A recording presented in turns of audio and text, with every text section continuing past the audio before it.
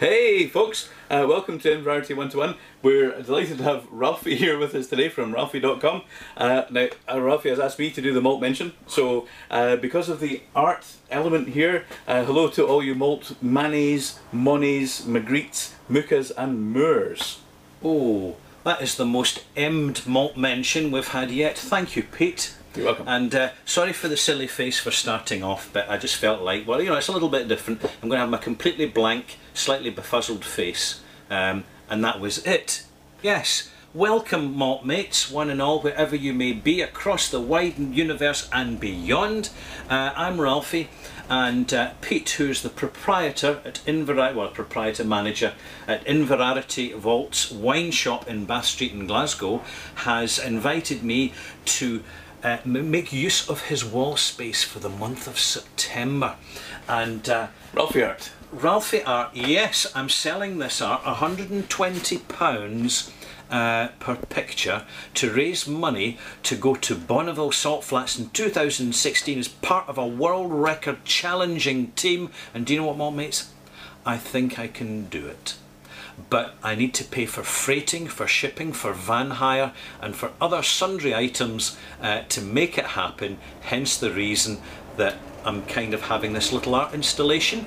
Photographs, Pete, that's what we've got. Photographs which I've then mounted onto canvas, well a gentleman's done it for me, uh, enhancing the picture um, and basically I sign it, I put a wee legend here. And then importantly each and every picture has its own unique memory, USB memory stick. And what happens is, I've gone into the bothy with each individual enhanced photograph and I've recorded a seven up to about five to ten minute video, very slightly between pictures, specifically about that picture, where I took it, when, what it's all about, and that makes this unique. I'm going to put this back, Pete, and straighten my picture up because it's going slightly squint there. Exciting Hold stuff. a minute. right, so let me just base, briefly introduce these. Um, I will be posting photographs of each individual picture on my Facebook page, Ralfy, R-A-L-F-Y, it's my fan page, you'll find them there. But uh, here we are, the gallery walk round with Pete. So Pete, what do you think? Do you recognise this this place? I do, I do. I've seen it before. I, I like the unique use of the Dalek. I think that that that makes it particularly particularly cool from my point of view. Uh, super range of whiskies, good use of dark and light, and also the uh, the Ralfy Ralfy.com Yes. at the at the front front and foremost there. So there's some some some nice touches. Yes, the most notorious whisky review venue in the world.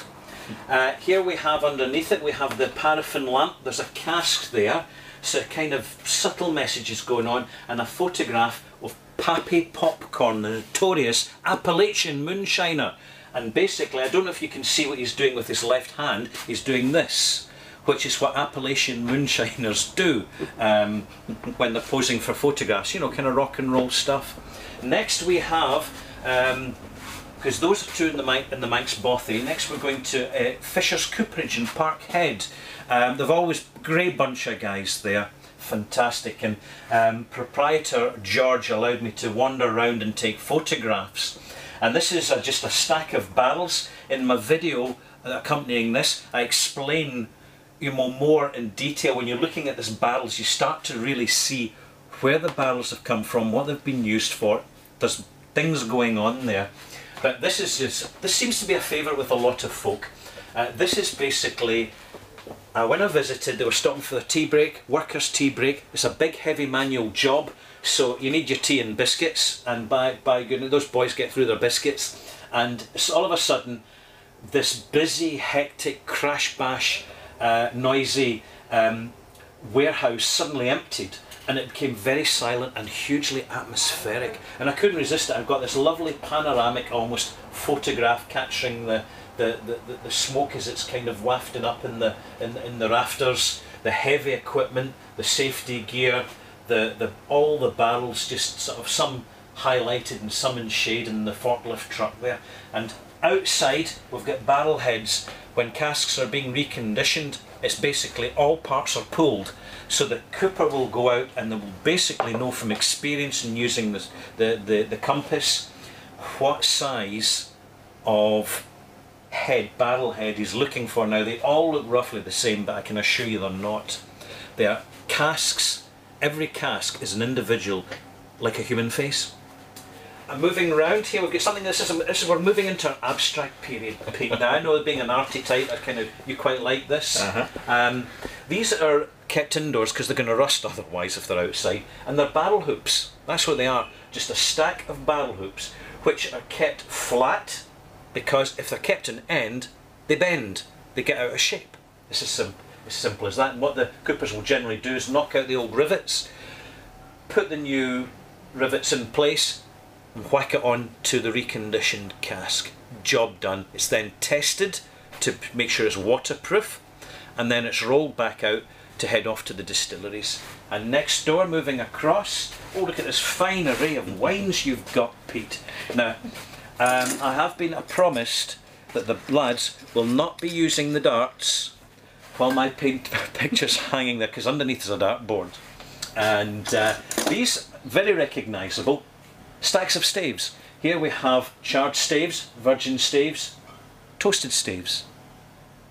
Different ages, all stacked up in order, and then they'll be mixed together to get the optimum, a medium active cask. And the coopers, you know, without thinking too much about it, they just know instinctively just what works. You can learn so much from a cooper. If you ever go visit a distillery and you really want to know the ins and outs, ask the person that's sweeping the floor. We're going to move round a wee bit here. I tried to not not to knock over this display. Did kind of we're really kind of half half halfway around our, our exhibition here. Yes. Pete. So any particular wines that uh, you you recommend? I would like to highlight to folk. the uh, the Voodoo Moon Malbec, a Malbec from Western Australia. That's it's just a, a wee bit lighter than the heavily concentrated Argentinian uh, Malbecs, uh, but a lovely, lovely wine. Uh, a multi award winning as well, and that is uh, that's a nice one. Um, the uh, they base the labels on twenties and thirties circus posters, so you'll either like the label or you won't. But the wine is amazing. The juice is always good. Hey, there you go. Now you know. So, moving across to the to the far corner here. Very shadowy picture this. Taken at Bruichladdich Distillery, lit by fluorescent lights, and only one was working. And you know, this is when I saw there's the one light coming down in a dunnage warehouse, wonderfully atmospheric, a very iconic image. And of course, the story is, you know, you're lead, leading down this passage here into the darkness. What is the future of whiskey? What is the future of these casks? What is the future of the distillery? Nobody really knows. If you want to know the future, you have to look at the history books and look at the history books accurately, not what's just been written by the history makers. And a quick mention of this. Oh, I'll be nipping in here later for a wee perusal. Uh, this is the, the a lovely walk-in humidor full of exotic cigars from all around the world. I buy my cigars here.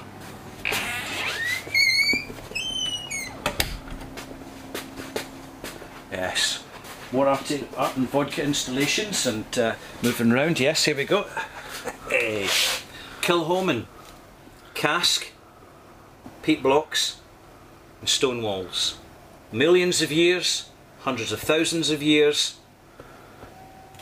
A few decades. I was out on the motorbike. I stopped because um, my spark plug was getting loose, and when I was got the spark plug back in the motorbike, about to start it up, I turned round and I just saw this picture, and I thought, absolutely perfect, wonderful. That peat stack will last you all year. You notice it's round. It's been done subterranean peat cutting so as to leave the surface of the turf intact to continue the growth for sustainable peat harvesting. There you go. We're staying in Islay. So if you've been to Islay for the Fèis Ìle, you recognise this image. I think the, the still is still there. This is the original still from Port Charlotte Distillery. It's sitting up in the hill. It's all lonely. It needs a bit of TLC, perhaps someday it will. You notice this is your absolute classic squat pot. This is a style of, of still which is ideal for heavily peated whisky. Broad pot base, broad, broad neck, and a big fat top to it. And the lyne arm, with any luck, is going down the way, not up the way, to save refinement of the spirit. Because with peaty phenolic whiskies, you just want slow, heavy, heavy cuts. Don't want to break your bottles here.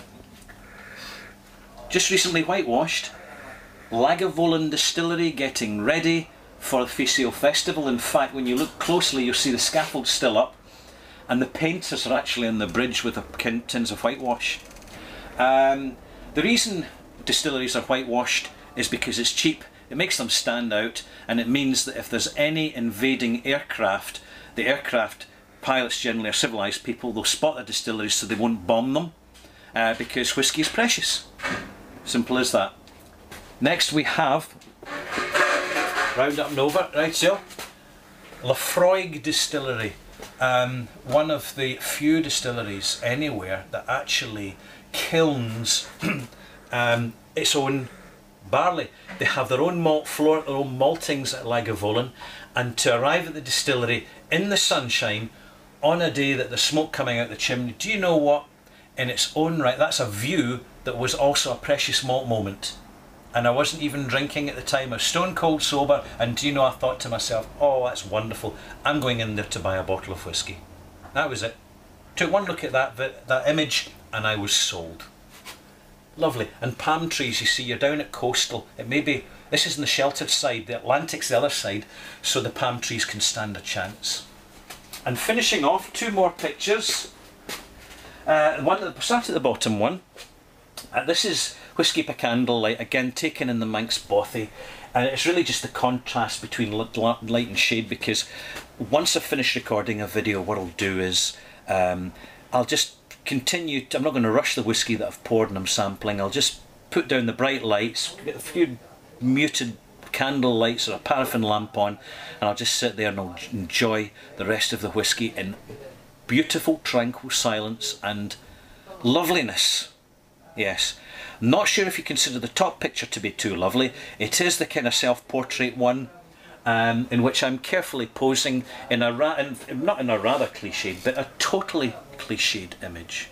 Totally cliched image. Um, with a glass of whiskey, and I'm peering into the amber distance. I'll, I'll reproduce it for you right now.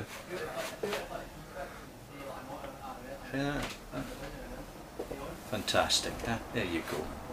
Now, I'm not sure if, you'd, if, if that would put you off your whisky having a picture of me hanging in your wall, but it's all down to personal taste. And I tell you what, I have a bucket, I have a bucket of corks.